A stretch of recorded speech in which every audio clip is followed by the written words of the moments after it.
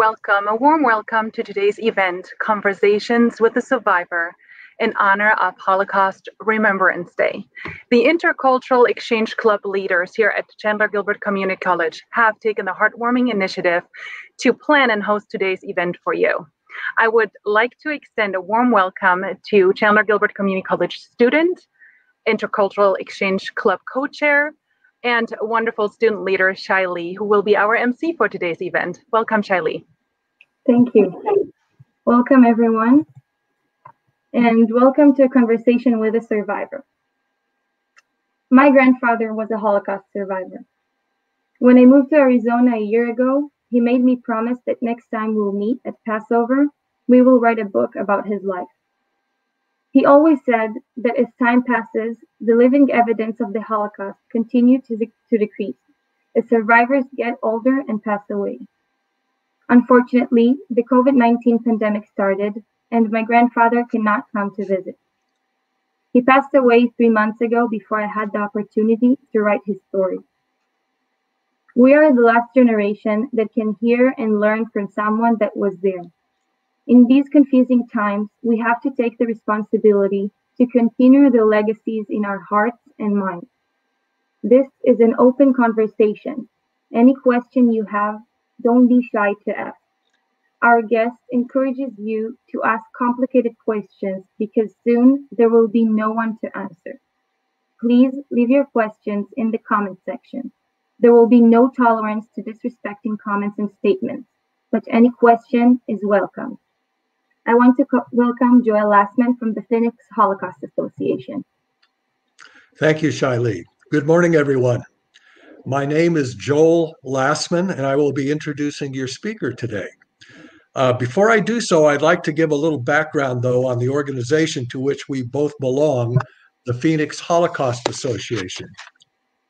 The Phoenix Holocaust Association was founded in the greater Phoenix area 36 years ago to facilitate and promote education related to the Holocaust.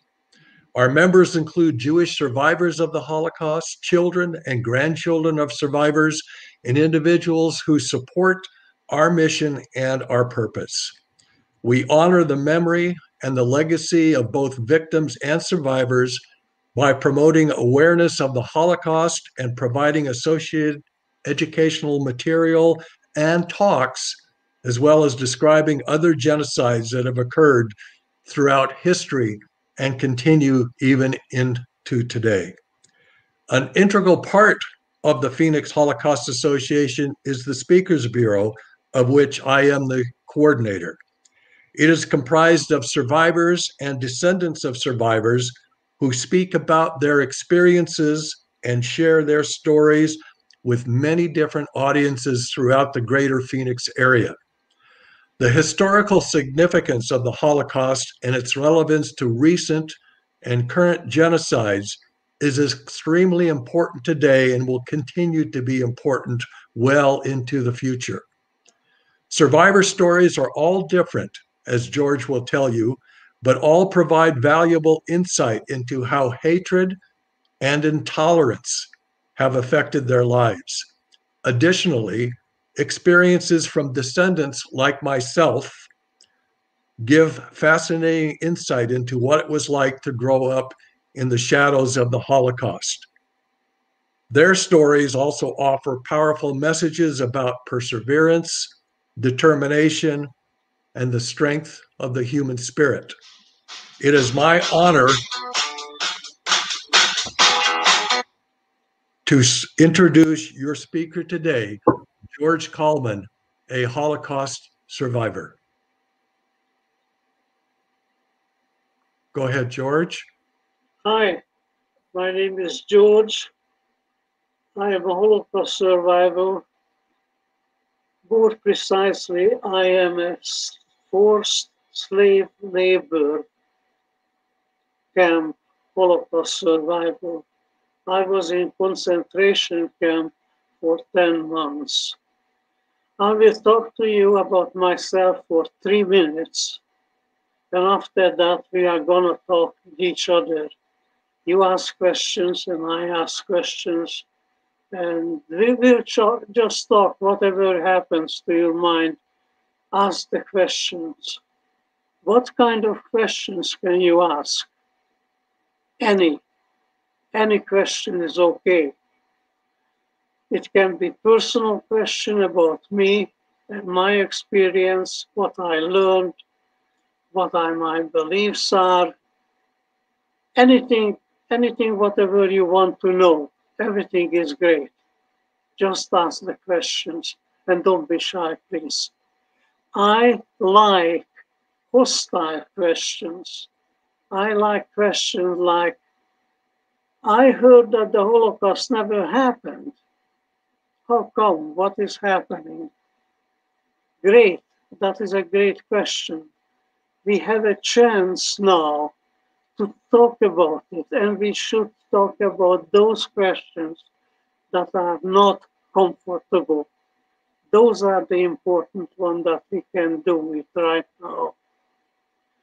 So, I was born in Hungary 1934, so I'm 86 years old. And Hungary was an ally of Germany, so Hungary was not deporting Jews for quite late. In March 19, 1944, now if you remember now March 19, 1944, that's very getting very close to D-Day. That was already the fourth year of the war. That was the time when Germany invaded Hungary militarily. And that's when the deportation started. Me, my mother, and my grandfather, along with 80 people from the village, were put into a cattle car and transported, deported first to a collection camp, then to a distribution camp, and then finally to a labor camp in Austria. I'm ready for your questions. This, this is the basics. Ask the questions, whatever you want. Go ahead. Okay, so let's see. Let's start with the first question. Some people say that the Holocaust never happened. Can you speak about about this a, a little bit? Okay. There are two kind of people who say that.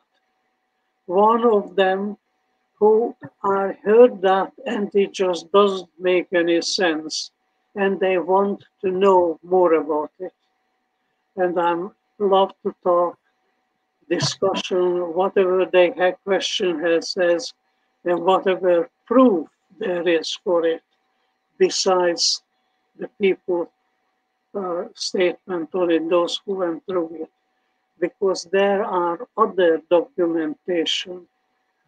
There is a very interesting one in Bad Arolsen in Germany, who has the deposition for Second World War, not just Jews, but everything about the Second World War. And they have like three ring binders, actually they are four ring binders with different shape on shelves. Big binders on shelves. And if you put the shelves together, it is 16 miles long. So you can imagine how much information is kept by the Germans. So those are not something which you can say is Jewish propaganda. These people who want to know more about that, I am glad to talk about it. There are other peoples who are already set up my mind that the Holocaust never happened. And there is asking for information. And this 16 mile long German documentation is not enough for them. They want more. Well, for those, I, there is nothing that I can say that will be enough for them. They will believe that the Holocaust never happened, and so be it. Okay? Okay. Um, next question. Did you ever ask why me? Did you did I ever ask what? Why me? Why did it happen to me? Why did it happen to me? It didn't happen to me. It happened to six million people who were dead and those who have survived. So it's not just me. Uh, one thing when you're learning about the Holocaust, and one of my questions will be later asking, why are you learning about the Holocaust? Why are you studying? But one of the reasons that they, one of the things that they don't emphasize, the Holocaust was not one horrible single event. It was one big horrible but it was not a single event. It was different from place to place to place, and it was different from time to time to time. It was different in Germany than Hungary, and in, different than Poland, and different than Romania. And it was different in March 15 in Hungary than March 19th in Hungary. Same thing and it was different in the city than in the village. So if we are talking about the Holocaust, we have to be careful to understand that it is not a single event. Here I want to ask a question because I don't want to miss that. When you hear Holocaust and you hear about concentration camp, how many concentration camp were there through all through the Holocaust. Can you guess? Anybody can guess that. You have to guess it because you probably don't know. I didn't know that. I know that there were a lot. I know that there were six extermination camps in Poland, but I don't know how constant how many concentration camps there were. I'm talking about concentration camps only, not ghettos just labor camps where we were prisoners. How many of those were? I don't know. 1,600. Wow, that's a lot. That's a lot. A, a lot, lot, of them. Yeah. I have a map of them. It was interesting because people don't know and they don't understand it that most of the camps were not murder camps. People heard about Sobibor and Auschwitz and Dachau and the other murder camps. But there were other 1,600 that were not murder camps. And the question is what would they were and so on. So if you have question about that, please ask. So we have the next question is Can you still remember how the Nazis treated you? Say that again, please. Can you remember how the Nazis treated you? Uh, yes, I, I can remember that. And there is again an important information that I would like to tell you because it is not told well. Not all the Nazis were bad. There were many of them. No shortage of the cruel, nasty, really cruel Nazis, but they were also very decent people, Nazis who were not cruel, who helped me, who helped my mother, and who helped my grandfather. So have to have to make sure that we don't use a very big wide brush and all Nazis are bad. Not true. When you say that they I, helped your family, how did that help? Uh, my uh, experience were very little with the Germans. The Hungarian Nazis, uh, yes, I do. I was kicked out from third grade in elementary school because Jews were not allowed to be in school. Okay? Yeah. Um, quest, next question. How do you see history possibly repeating itself? How do I say that again? How do you see history possibly repeating itself? Sorry, I don't understand the question. Don't You said at the beginning that you are trying to educate people to stop history to repeat itself. So, how do you see it possible? Uh, I was asked by a friend, and also an Auschwitz survivor from the same village where I was born and grew up, to help out. And I went to a school and talked to the students. And then she asked me again to help out and did it again. And for 20 years, I am doing that. I'm going to schools and senior groups and anybody else who wants to learn about the Holocaust because they need to know. Everybody needs to know. Why? This is my question I said I will ask. Why are you studying the Holocaust? When you are studying arithmetics, I can understand that is benefiting you because you go shopping and you can count the change. When you learn physics, I can understand how does benefit you because again, you can fix some switches of the house or maybe work on your car. Chemistry, again, when you burn the meat or you burn the evening dinner, you know what you did and you understand it. So it is beneficial. But studying the Holocaust, what good does it do to you? Anybody would like to say something on that?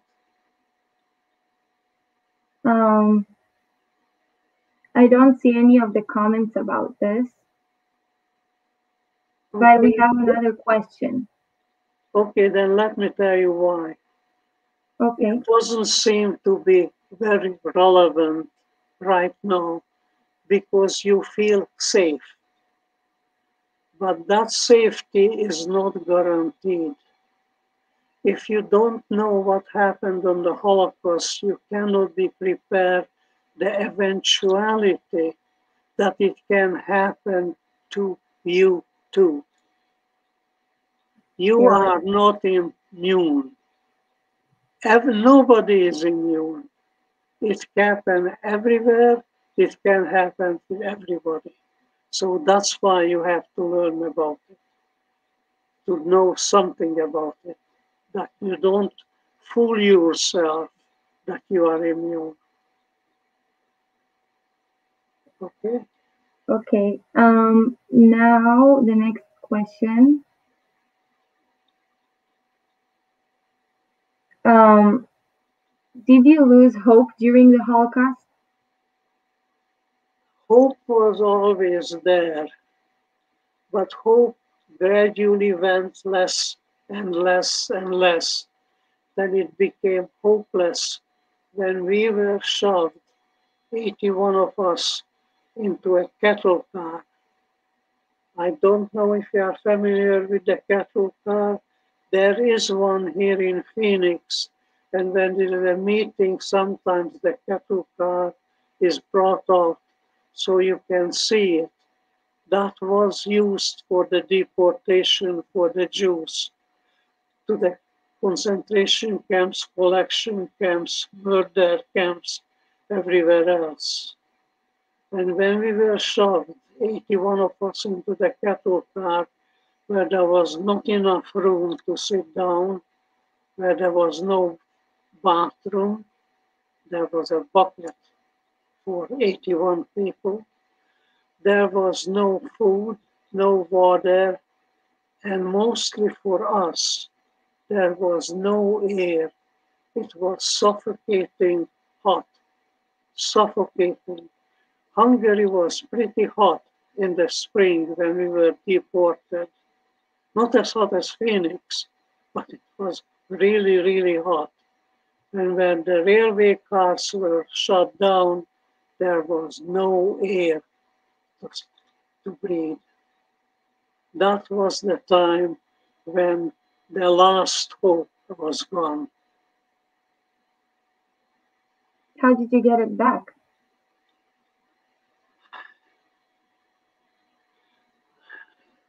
I don't think we got it back. Okay. Um, our next question is What is your perspective to the concentration camp in Xinjiang? Um, I'm sorry if I can't read it right. Um,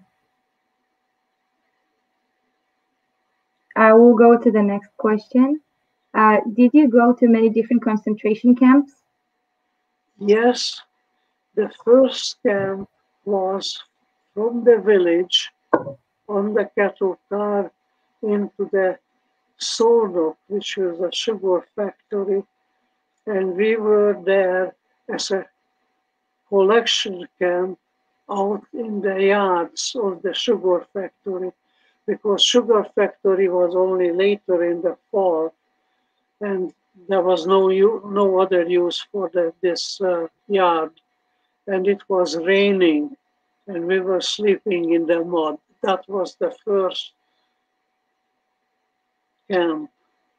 From there on again a couple of weeks later we were put in other cattle car.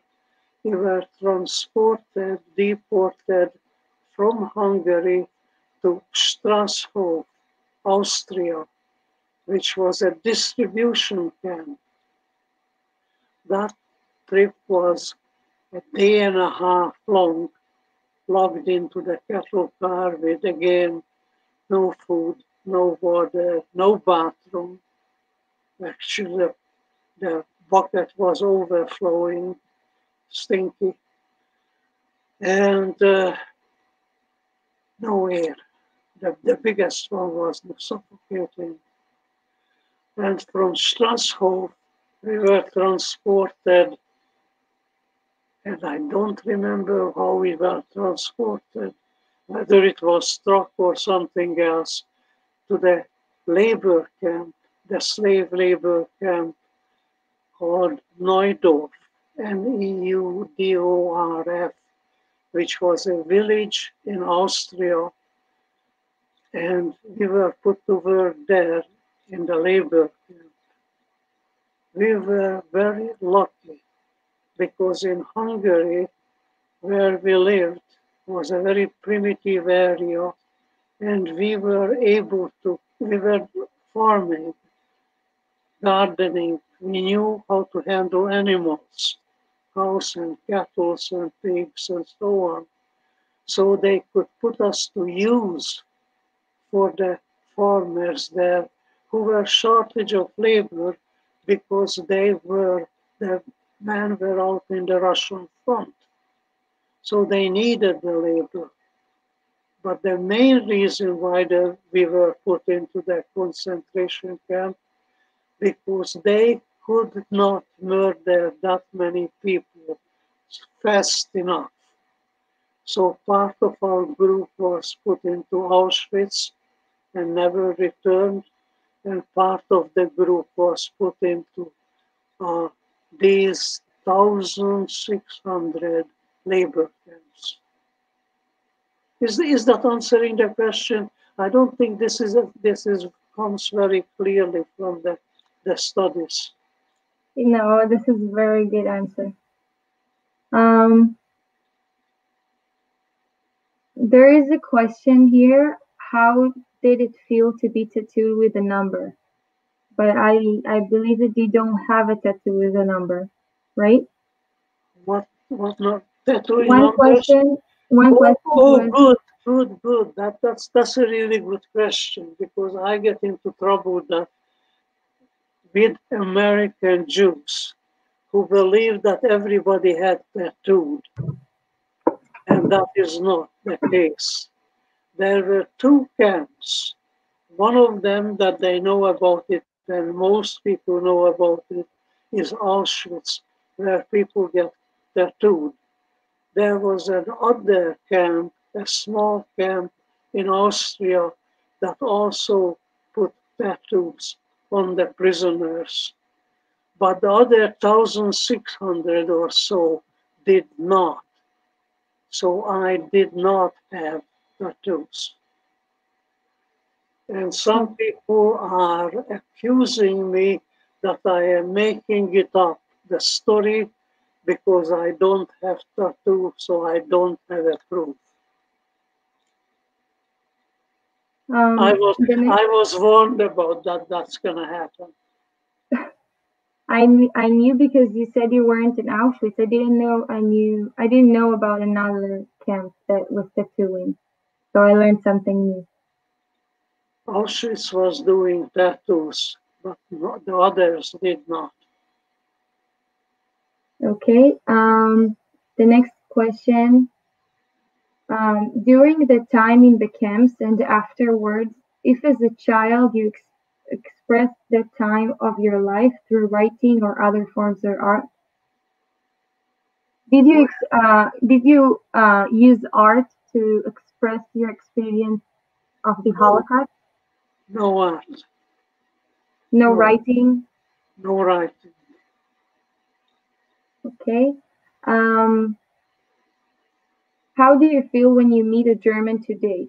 Do you feel angry? Not against the German, I don't have any bad feeling. My mother was assigned to be a maid to a high ranking Nazi official in Neudorf. That sounds scary, isn't it? This high ranking Nazi official was very, very nice to my mother and very nice to me and my grandfather and the other people. We were only 35 people in that camp. We didn't have guards, we didn't have barbed wires, we didn't have dogs. That was also true for many of the other 1,600 camps. Not all of them had guards and we were just prisoners. And this high ranking Nazi German official and his family was very nice. Now, I was, or we were lucky because my mother grew up in Austria about 40 miles from where the camp was, and her mother tongue was German. So she spoke fluent German with the same dialect, with the same accent as the local people. And she knew everything the schools, the diet. She was an excellent housewife, an excellent book. So the she the, the German Nazi and family benefited by her to be there because she took care of the kitchen. She also was a seamstress and she could mend the clothes because there was shortage. By that time, there was shortage in Germany, in Austria, in everything. So she, they were nice, but they, they really benefited my mother being there too. And so did the farmers where the rest of the group was working. Um, next question is What social, economic, economic, and political condition prompted the Holocaust in Europe? Sorry, I, I have not time to understand. What social, economic, and political condition prompted the Holocaust in Europe?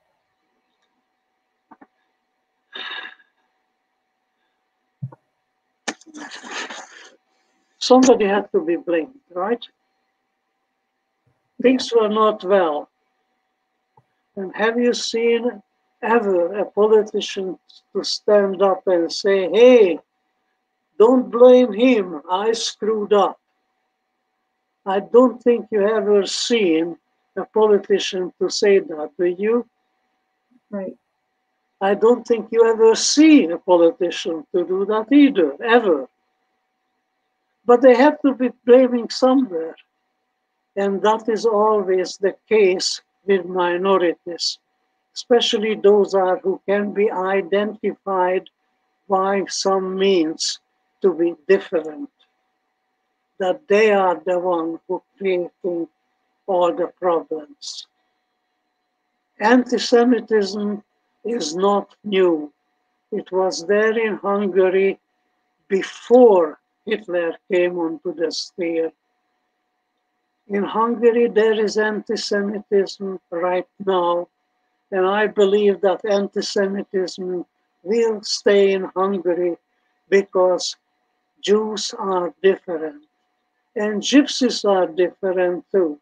So there, are this anti Semitic, anti uh, Gypsy, anti Romanian, anti Slovak, anti anti anti sentiment in Hungary right today. And I don't think it is only in Hungary. I cannot talk about the others because I don't have first-hand knowledge, but I know this from Hungary. Um, the next question Were there any towns or communities that were able to resist the Nazis, and if so, how? That was excellent question because the answer is no.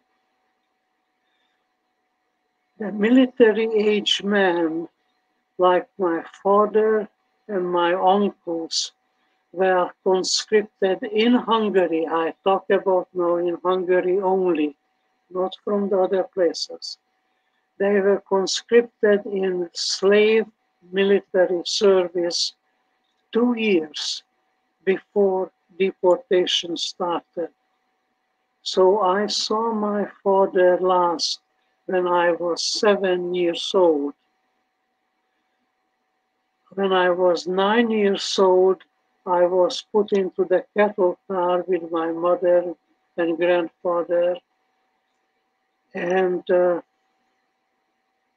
I was 10 years old on April 2nd, 1944.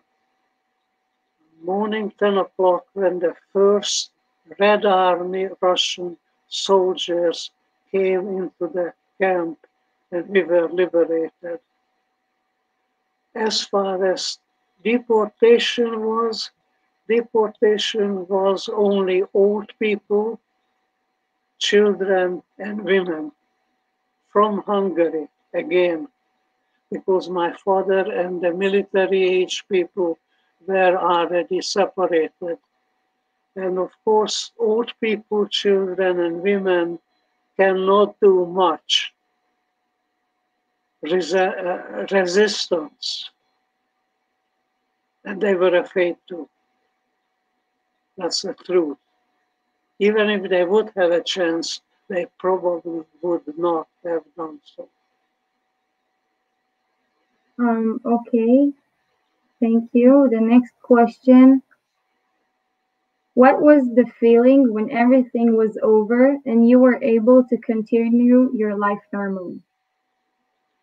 Ah, that was a question because we were in Austria, we were not in Hungary, and most of the people didn't speak German. My mother did, and there were a few people who also did.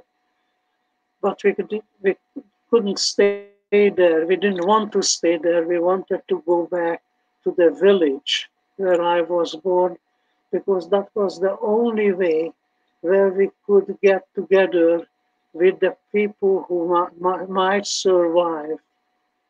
We did not know how bad the situation was. we didn't know how lucky we were by comparison. We learned that only years later when people came back from Auschwitz and the other concentration camp, and we learned it from them. What did they went through?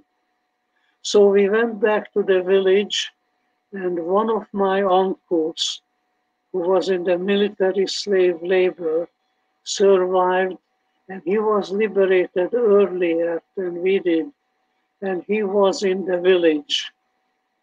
But my father and my other uncle did not survive and didn't return Neither is my aunt and her whole family, and my other aunt, her whole family, who were living in Bratislava now. It was Pozsony there, it was a Hungarian city. And uh, my mother had four, was four. My grandfather has four daughters. My mother was the youngest. The next one is uh, Fanny lived in England, so she was out of the reach of the German, and she survived in in England with her daughter. But the rest of the family were all murdered. Um, so how was the feeling then when you when you were li- liberated? How did you feel when you were liberated from the camp? We, how, how did we feel? Elated, ecstatic, liberated, physically and mentally too. Um, the next question How can a community protect against propaganda? How? What was How how can a community protect against propaganda? That is up to you, students. I cannot tell him how. They have to figure out to able to be aware of what is going on here and everywhere else in the world and be able to listen carefully and understand if they catch one thing that doesn't make sense, ask questions. And if I have several questions, several things that doesn't make sense, don't believe in it. It's better to start not to believe politicians in either side. Um, But that, that is a really hard question because they have to train young themselves to listen very careful what they say. Like one of the guys said, you know, I never did that. I promise I never do it again. Huh? You never did it and won't do it again? You gave it away. You lied. You lost your credibility. Don't believe anything ever again what he says. So these are the little things you can catch, but you have to watch out for it. um, the next question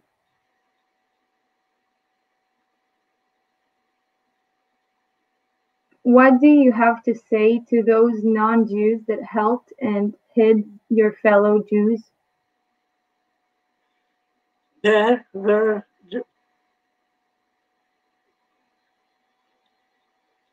non-Jews, mostly Christians, Catholics and Protestants who were helpful. We were not separated in the village. We lived together side by side with, with everybody else, and we were part of the society. And uh, most of them, local people, who were friends essentially. They were not, they maybe had anti Semitic upbringing because of the churches where propaganda was strong. But they said, well, these are the good Jews, the neighbors. But those are the others, the other Jews whom I don't know. Those are the bad ones. This is the way propaganda works the best. The people I know, those are good. The people I don't know, those are bad. So the question is, what do you think, or what do you have to say to those non-Jews, the Christians or Protestants that helped during the Holocaust to save Jews, that kept them hidden from the Nazis? Those, those Christians who have Jews usually had Jewish friends. They were not strangers. They were not those who are the bad ones. Those are the ones that they knew. Those are where even if they were in the same trade, like my father, my father was a butcher, and they were about seven or eight butchers in the village. So there was competition, but it was fair. It was fair competition, and there was no animosity against each other. Did they benefit when my father's butcher shop was closed down? Yes, they did benefit. Okay. Um, the next question is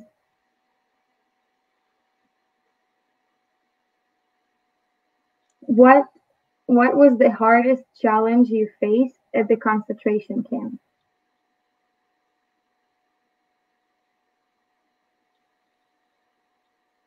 The hardest part was not in the concentration camp. The concentration camp was in a village, and the local people were not allowed to talk to us except telling what to do, where to go, when to do it. But there was not allowed to have social interaction. And we were not allowed to have talking to them either. That was forbidden. And it was checked too by the authorities.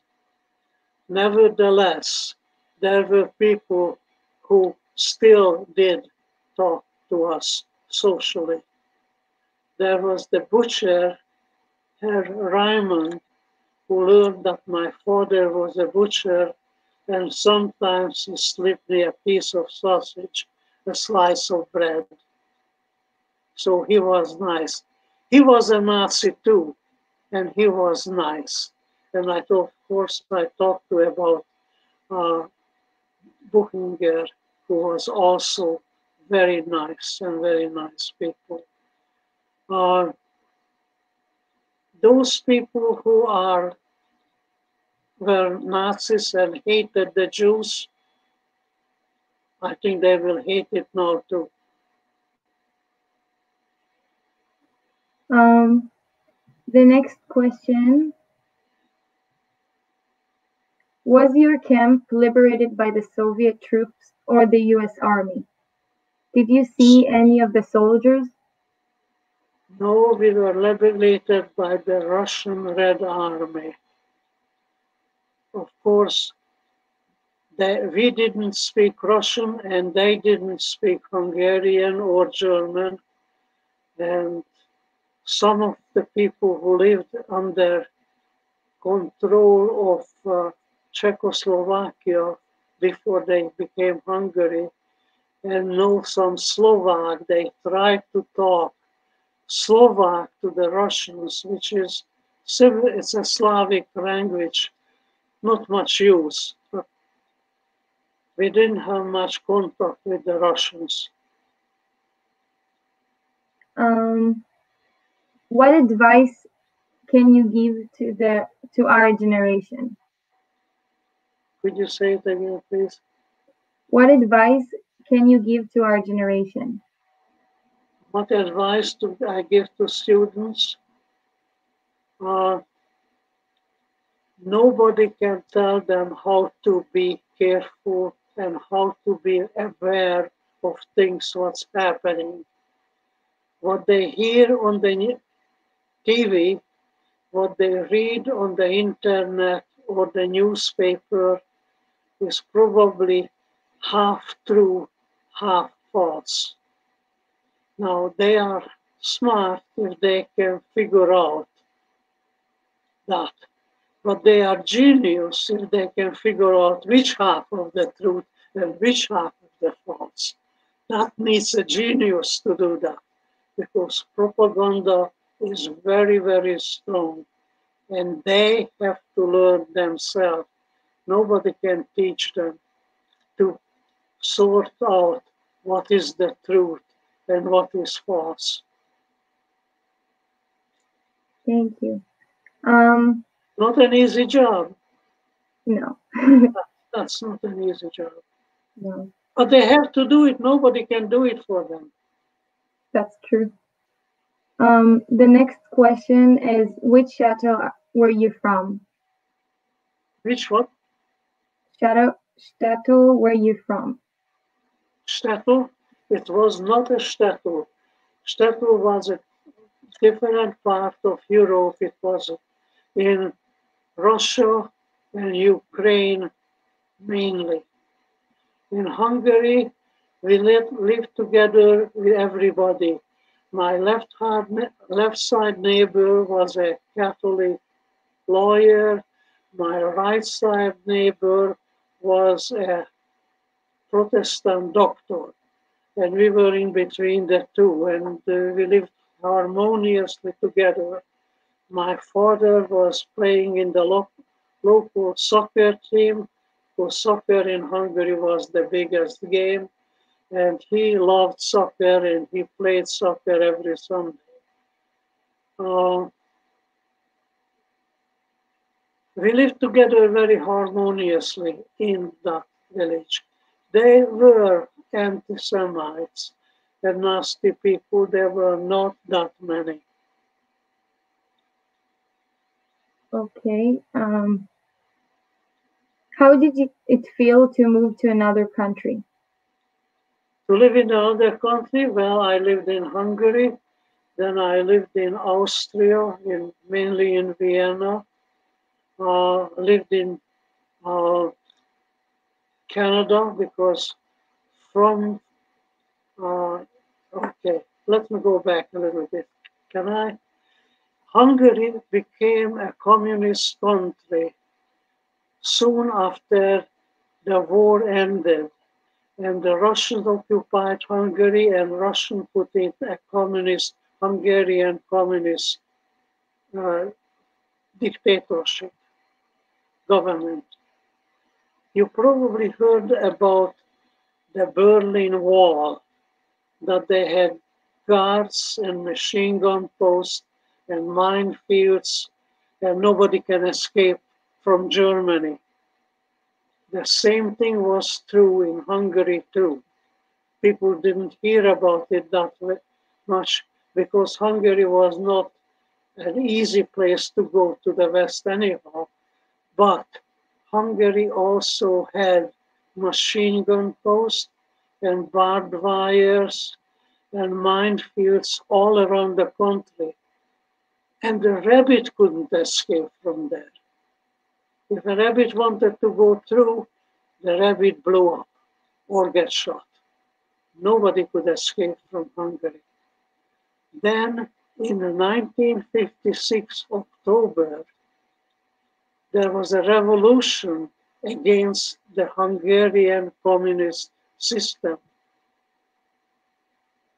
And because of the revolution, the border guards who manned the machine gun post disappeared. They, they just left.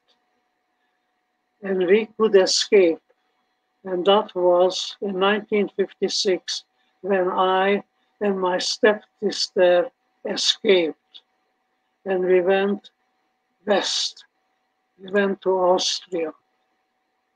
And from Austria, I wanted to come to the United States, but I was told that it will take security check of six months to six years. Six years waiting to somebody say no? No, that's I didn't want that. I had a scholarship given by Sweden, but learning another language that is spoken by 10 million people total, that was not my idea. I wanted to learn either English or French or German or anything that is used worldwide, not something that is used by very few people. Canada, on the other hand, they had a different way of getting people. We were, I was a part of a student group. We were young and not married, and we could move and go anywhere we wanted. We had nothing except a shirt on their back. And Canada said, We need young people like you. Come to Canada, learn French or learn English because Canada is bilingual, both French and English. Finish school and be part of the Canadian society. So I went to Canada with many other students and uh, started to learn English which was tough. English is really tough. I could say bonjour and bonsoir. I couldn't say that much in English. So learning English was not easy, not at all. We didn't learn English in school. We learned Russian in school, but uh, that was compulsory. And uh, I got a Canadian citizenship, went to school, get, get my degree. Uh, in 1968, I get an offer from Westinghouse Semiconductor in Baltimore, Maryland, actually. And uh, in six, 1968, we moved. I moved. We moved. By that time, I was married, no children we moved to the United States. Um, we have time for just one more question. Um, let's see. Were you able to pray and keep kosher in the camp? If yes, how? And if not, how did did that make you feel? I feel horrible because my mother was very religious and very knowledgeable education wise. She spoke Hebrew and she kept a kosher home and kept all the holidays. And when situation got that we couldn't get any kosher food or hardly any food, then my mother got together the family and she said a prayer. Says, God, thank you very much. You made me do this. I did not want to eat non kosher food. You, my God, made me do that. I cannot forgive you for that, God. How did this make you feel? My mother did not keep kosher ever since. Um, the next question.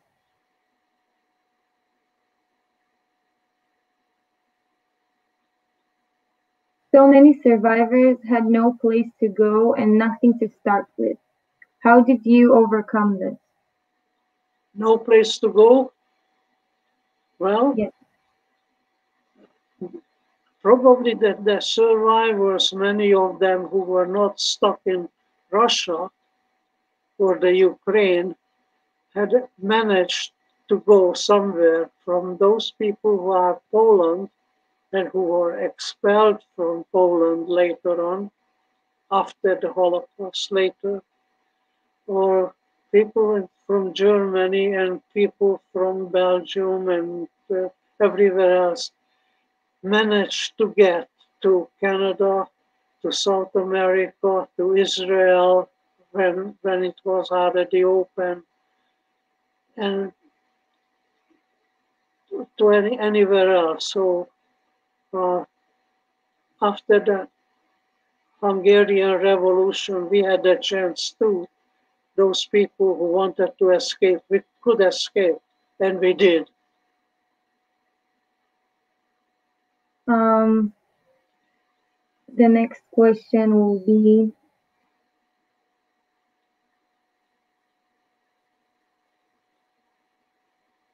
Now, during the Holocaust was different because during the Holocaust, no countries accept Jewish refugees. During the Holocaust, you couldn't go to the US, couldn't go to Canada, couldn't go to South America, couldn't go to Africa, couldn't go anywhere. Nobody accepted Jews. That during the Holocaust, when Jews won, if they could escape, they had nowhere to go. Probably that was the real question. Not that those who have survived, but those who could have gone somewhere during the Holocaust. I think that was the real question. Yeah. Um, so we will end with this one. Um, how I can learn more and educate myself more about the Holocaust.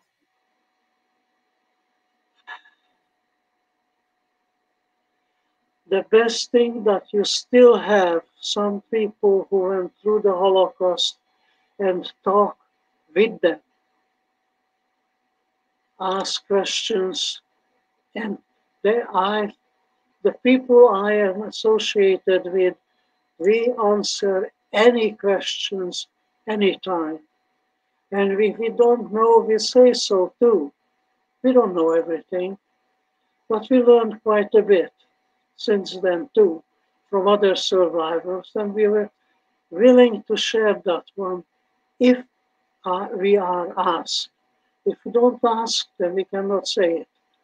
I am not pushing the fact that I am a Holocaust survivor.